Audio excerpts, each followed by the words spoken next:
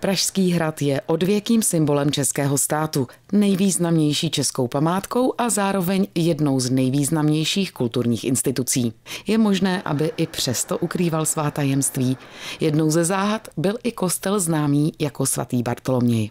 Kostel byl objeven v roce 1921 eh, při stavebních úpravách Pražského hradu pro vlastně sídlo eh, nového československého prezidenta.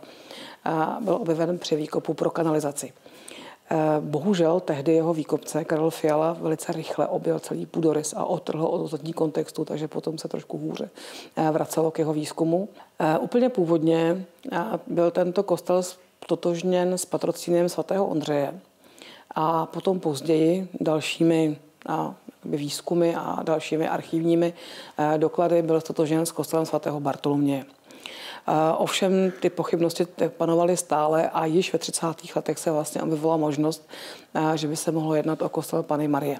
Badatelé se v průběhu 90. let k průzkumu opět vrátili, ale stále se jednalo o mapování prostoru kostela. Ukázalo se, že to vlastně asi svatý Bartoloměj nebude, protože v žádných pramenech eh, liturgických, ani v soupisu oltářů, ani v popisu procesí se nikdy žádný Bartoloměj neobjevuje a dokonce nemá ani oltář a to až do vlastně počátku 15. století, takže nám by se eh, toto patrocínu vyloučilo. Nicméně jsme potom velice dlouhou dobu neměli možnost se výzkumem nějak pokračovat až vlastně v loňském roce.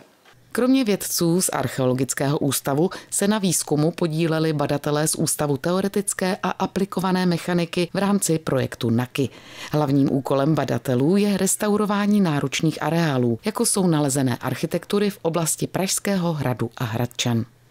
Proto jsme se vrhli na celý areál třetího nádvoří, abychom vlastně mm, se pokusili zlepšit péči o něj a v rámci toho jsme se teda rozhodli i eh, k reviznímu výzkumu tohoto kostela, protože jsme viděli, že vlastně v interiéru je zasypaná sonda, eh, která tam byla udělána někdy v polovině 20. let a která vlastně nebyla úplně vyhodnocena. To nás vlastně přivedlo. A proto i ta, i, i, i, i ta spolupráce s kolegy, eh, kteří se zabývají vápenými technologiemi, protože vlastně v interiéru té sondy nebo na profilu té sondy je vidět několik podlahových vrstev, takže nám vlastně posloužila spolupráce s nima k identifikování a analyzování těchto podlah. Hlavním úkolem badatelů je zjistit, v jakém stavu jsou památky po opravách z 20. a 90. let 20. století. Například zdali jsou v pořádku zdiva nebo dřevěné konstrukce. V neposlední řadě se vracejí k některým vědeckým otázkám, které zůstávají nevyřešené. Jedna z nich byl i kostel svatého Bartoloměje.